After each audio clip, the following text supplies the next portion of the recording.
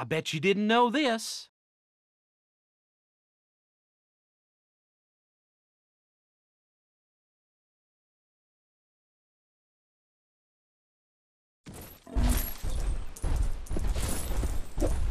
Shoot him!